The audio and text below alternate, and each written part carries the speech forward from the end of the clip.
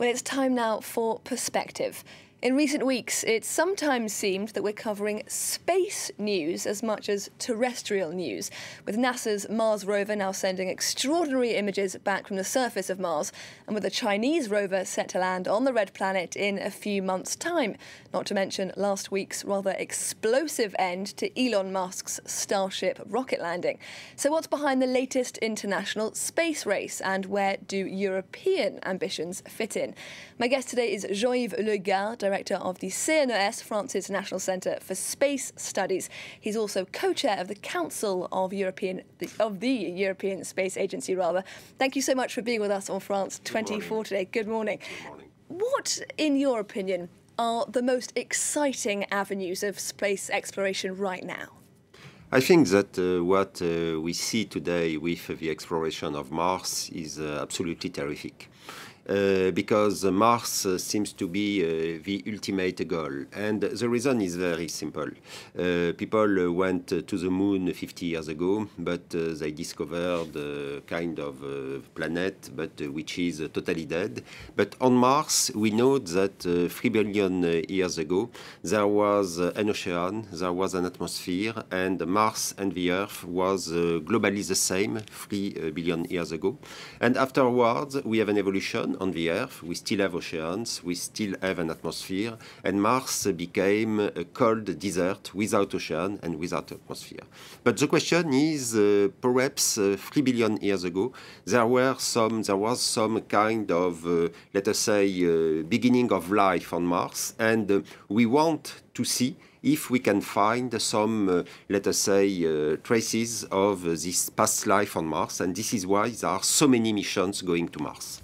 And why are they going there now? What is it about this particular moment in space exploration that means Mars is the is the ticket everyone wants to get hold of? Because these are uh, definitely the progress of technology. Uh, 20, 50, uh, 30 years ago, it was very, very difficult to go to Mars. Now, with the progress of technology, intelligent artificial, uh, artificial intelligence uh, on board of the spacecraft, it's much easier to go to Mars. And in addition, we can go to Mars just every 26 months. And this is why uh, last July uh, there were three launches of probes to Mars, a Chinese, a probe from the Emirates, uh, Emirates Mars mission, and of course uh, the US rover Perseverance with on board the French camera Supercam, and uh, we are very proud of this cooperation with the US.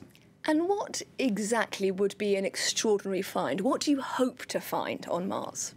The demonstration that in the past there was a kind of life on Mars, but of course we have no idea of what it is because depending uh, when you arrive on Mars, you can find a life in a very, very different uh, status. And this is exactly what we are going to investigate with this rover, which is now on Mars in the bottom of the crater Jezero. Now, SpaceX uh, has, of course, uh, plans to start settling humans uh, on Mars uh, in not too long. Um, do you think that that's an achievable goal in our lifetimes? I think that uh, sending a human to Mars is uh, very, very difficult because uh, today uh, we have astronauts in the International Space Station. Uh, Tim Peake from UK spent six months. Thomas Pesquet spent six months, and he will be back to the station next April. And after six months, it's the limit of the time you can spend, you can stay in weightless conditions. And going to Mars, it's a mission which should last uh, at least 2.5 years. So it's very, very difficult.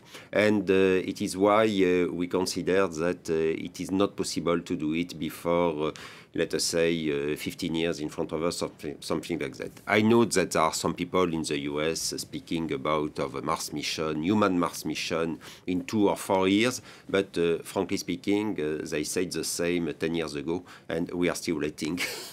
So you say it could be possible theoretically in about 15 years' time, but should it be possible? Is it desirable to get to Mars, and why, if so? It's an ambition. Uh, I am not sure that uh, from a scientific point of view it will bring a lot because it will be uh, extremely uh, costly, extremely expensive, but it's an ambition, and uh, you know that there are some billionaires who think that they would like to go to Mars, but in my opinion, it's very, very difficult. Now, you've spoken uh, a bit recently about what you call the post new space. Could you just explain what you mean by that? In fact, uh, 10 years ago, a lot of people uh, spoke about new space, and uh, the idea was that uh, instead of uh, the agencies which are funded by the governments, we will have a new generation of entrepreneurs investing private money in space and developing a new space.